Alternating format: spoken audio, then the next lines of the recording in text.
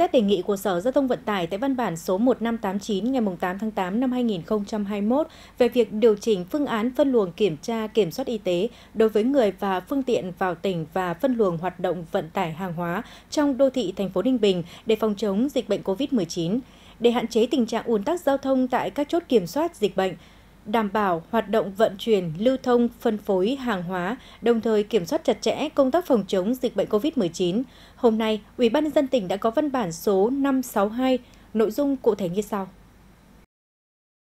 Một phương án phân luồng kiểm tra kiểm soát y tế đối với người và phương tiện từ các địa phương khác ra vào tỉnh Ninh Bình. Đối với 5 chốt liên ngành kiểm soát phòng chống dịch COVID-19 tại các cửa ngõ chính ra vào tỉnh, tại Dốc Xây, cầu Nam Bình, cầu Quất, cầu Non Nước, cầu Lập Cập – thực hiện kiểm tra kiểm soát y tế theo quy định đối với các phương tiện xe ô tô tải có trọng tải dưới 5 tấn, xe ô tô chở khách, xe du lịch, xe máy, các phương tiện thô sơ và người đi bộ qua chốt kiểm soát dịch bệnh COVID-19 theo chỉ đạo của Ủy ban Nhân dân tỉnh tại các văn bản số 436 ngày 24 tháng 7 và số 444 ngày 26 tháng 7 năm 2021 không kiểm tra đối với các phương tiện xe ô tô tải có trọng tải trên 5 tấn và máy kéo, rơ móc hoặc semi rơ móc, các loại xe, máy chuyên dùng tổ chức tiếp nhận thực hiện việc xét nghiệm nhanh bằng kháng nguyên SARS-CoV-2 đối với trường hợp các tổ chức cá nhân có đề nghị và trả kết quả sớm ngay tại các chốt.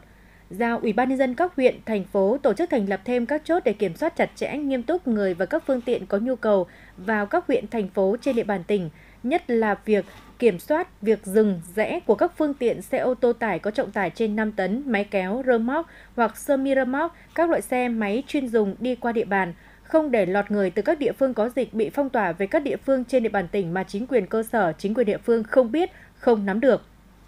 Sở Giao thông Vận tải chủ trì phối hợp với Công an tỉnh, Sở Y tế hướng dẫn đôn đốc kiểm tra việc thực hiện của các chốt do Ủy ban Nhân dân các huyện, thành phố thành lập. Sở Giao thông Vận tải báo cáo Bộ Giao thông Vận tải, Tổng cục Đường bộ Việt Nam xem xét điều chỉnh tạm thời giải phân cách giữa tuyến quốc lộ 1 tại các vị trí đặt chốt kiểm tra kiểm soát dịch bệnh COVID-19 theo hướng mở rộng mặt đường phía đặt chốt để tăng cường khả năng lưu thông của các phương tiện qua chốt, hạn chế ùn tắc giao thông. 2. Phương án phân luồng hoạt động vận tải hàng hóa trong đô thị thành phố Ninh Bình. Xe ô tô tải có trọng tải trên 10 tấn và máy kéo, rơ móc hoặc semi rơ móc, các loại xe máy chuyên dùng không được lưu hành trong khu vực hạn chế được xác định bởi các tuyến đường sau từ quốc lộ 1 cầu Gián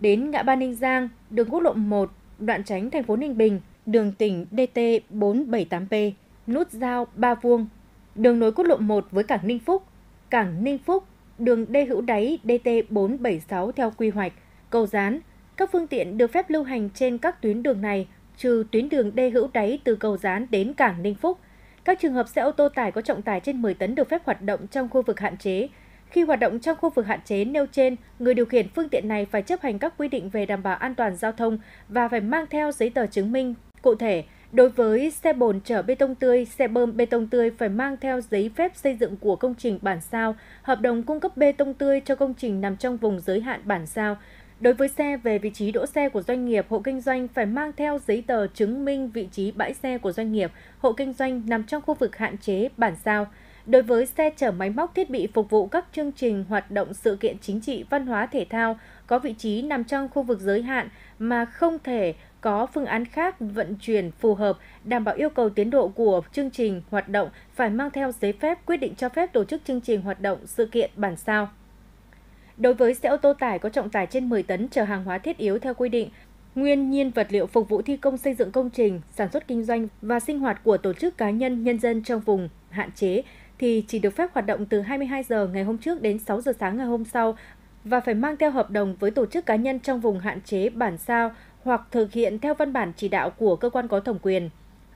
Sở Giao thông Vận tải chủ trì phối hợp với Sở Tài chính xây dựng dự toán kinh phí, nguồn kinh phí và báo cáo Ủy ban nhân dân tỉnh xem xét để triển khai thực hiện phân luồng hoạt động vận tải hàng hóa trong đô thị thành phố Ninh Bình.